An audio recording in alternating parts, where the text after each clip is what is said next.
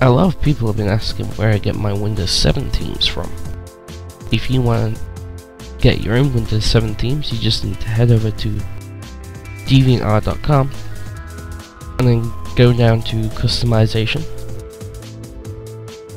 find skins and themes, and go down to Windows 7 utilities. After that you can click on Visual Style 7 and you'll see an array here of them. So just go through them until you find one that you like. When you do, just click on the preview thumbnail and you'll be taken to the main theme. As you can see here, this is the one that I'm using currently. So what you can do is download it for free.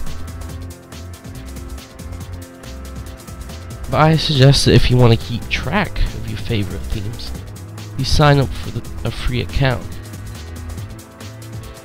If you want to check out what themes I use and what I have favorite, just go to the link in the description where you'll see all of my favorite themes and whatnot and you can search through them.